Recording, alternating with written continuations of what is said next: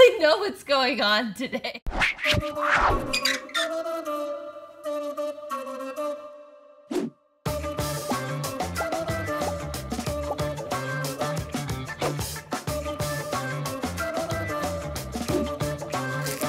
I tried to eat a kiwi in 2011 and I Yeah. haven't since. You take a bite out of a kiwi, you gotta take a shower. There's so much shit on this. It's like going to kiss someone who has a beard.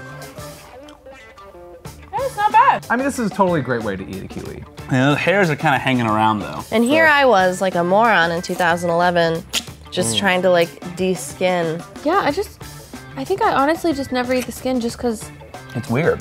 it was a norm that was impressed upon me. It's supposed to be like a fun little game when you pull the string cheese down. String cheese never comes out in cute little strings. I ain't nothing wrong with that. Nothing to it. I imagine that's what eating a moth tastes like.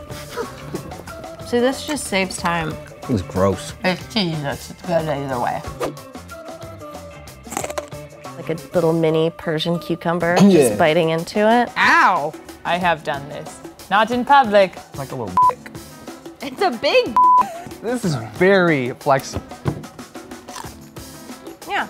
Oh. Oh. I'm satisfied. It's like a popsicle, but healthy. Is that cereal with ice? Watery milk sounds like a nightmare.